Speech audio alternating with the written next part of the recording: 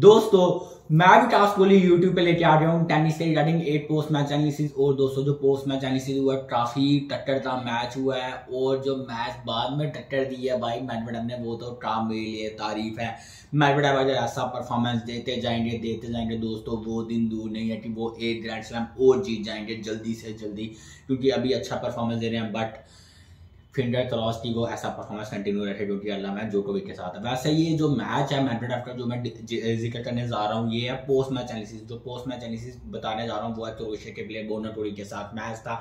Medvedev ने within two straight sets एक बार फिर से मुकाबला जीता और शानदार प्रदर्शन करके सेमीफाइनल में प्रवेश किया, जहाँ जोकोविक उनका इंतज़ार कर रहे हैं। दोस्तों पोस्ट मैच एनालिसिस में बढ़ने से पहले भाई बता दूँ कि एटीपी रैंकिंग है seven versus ATP ranking twenty का मैच था और मैच हुआ ज़बरदस्त मैडवेडेव की नज़र में।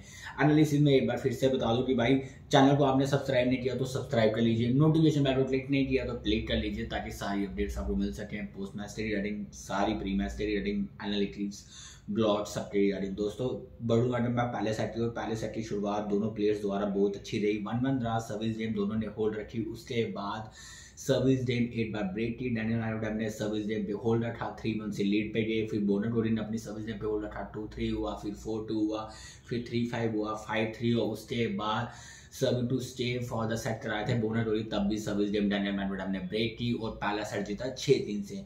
लगभग फोर्टी फाइव प्लस मिनट्स का ये सेट रहा। अगर सेकंड सेट की बात करें तो सेकंड सेट की शुरुआत मैडवेडेव के खिलाफ बोनटोरी ने काफ़ी अच्छी की। इस बार उन्होंने आते ही सर्विस डेम अपनी सर्विस डेम पे तो पहले होल्ड रखा। सर्विस डेम ब्रेक भी की। बॉर्नाटोरी ने डैनियल मैडवेडेव के लग रहा था कि भाई, बॉर्नाटोरी ये जीतेंगे match head to head record में। अब बढ़त तो है ही या फोर थ्री से लीड करे थे बॉर्नाटोरी अगेंस्ट मैडवेडेव तो वो चाहेंगे कि भाई फाइव थ्री से लीड कर ले। बट ऐसा नहीं हुआ। क्यों? क्योंकि पहले उन्हें ये सेट जीतना था, उसके बाद नेक्स्ट सेट जीतना था, और ये वाले सेट में ही बाद में पलट दिया, मैच बाद पलट दिए वो इसलिए बोल रहा हूँ क्योंकि बाद में परफॉर्मेंस बिल्कुल वन साइडेड हो गया पहले तो मैनवेडा ने अपनी सर्विस गेम पे तो होल्ड रखा रखा सर्विस जब ब्रेबी की टू टू से बराबरी हुई, उसके बाद एट भी शानदार प्रदर्शन करते करते उनको एट भी पॉइंट नहीं लेने दिया। अपनी सर्विस जेम पे होल्ड सर्विस जेम ब्रेक अपनी सर्विस जेम पे होल्ड सर्विस जेम ब्रेक और जो वो सर्विस जेम चला थे तब भी वो एट पॉइंट नहीं जीते, देखा जाए, लगातार इक्कीस पॉइंट जीते डैनियल मैडवेडेव अगेंस्ट बोनट कोरिक अगर ऐसी परफॉर्मेंस रखी तो भाई दावेदारी पेश कर सकते हैं दुबई में फिनाले के रिगार्डिंग दोस्तों।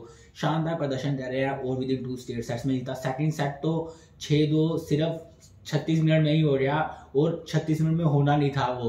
वो इसलिए हो गया क्योंकि जो लास्ट एक गेम्स हैं, वो बहुत जल्दी फिनिश हुए अपोनेंट प्लेयर को भी पॉइंट नहीं ले पाए। इनफैक्ट अपोनेंट प्लेयर काफ़ी अच्छे प्लेयर है और मेडवेडेव के खिलाफ उनका पलड़ा ज़्यादा भारी था बट आज ये मैच जीत पलड़ा बिल्कुल बराबर कर दिया एक समान कर दिया दोस्तों।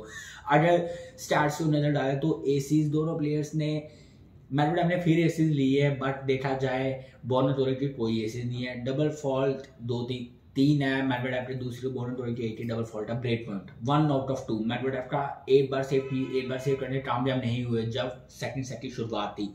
उसके बाद बोनर टोरी की सर्विस गेम काफ़ी कन्वर्ट हुई है. वन आउट ऑफ़ सिक्स एक बार सेव किया उन्होंने सर्विस गेम में अपना ब्रेक पॉइंट और पाँच बार सेव करने में कामयाब नहीं रहे. वो कब कब नहीं रहे? पहले सेट में दो बार. जब वन वन था और जब थ्री फाइव पे थे. उसके बाद सेकंड सेट में तीन बार. पहले वो टू ज़ीरो से आगे चल रहे थे, फिर टू वन हुआ था सर्विस डेम पे मैडम ने होल्ड रखा था। उसके बाद लगातार उनके तीन सर्विस डेम ब्रेक हुए छः दो से जीते वो सेट डेनियल मैडवेडम अगर हेड टू हेड रिकॉर्ड में देखा जाए, चार चार की बराबरी हो गई है हेड टू हेड रिकॉर्ड में तो अच्छा प्रदर्शन कर दिया मैडवेडम ने।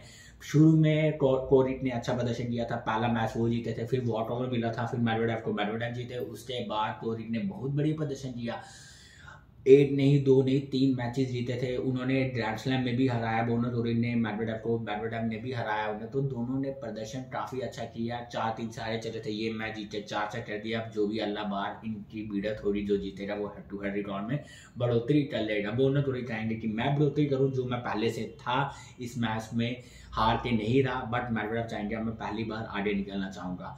दोस्तों, अगर हम नेक्स्ट मैच की डिस्कशन कर ले तो नेक्स्ट मैच होने वाला है। जो कभी को मैडवेडेव का आपको क्या लगता है? इस टीम में प्री मैच एनालिसिस भी लेके आऊँगा। अभी के लिए चलता हूँ। वीडियो अच्छी लगी वीडियो को लाइक कीजिए कमेंट कीजिए, ढेर सारा प्यार देते रहिए। बहुत बहुत धन्यवाद।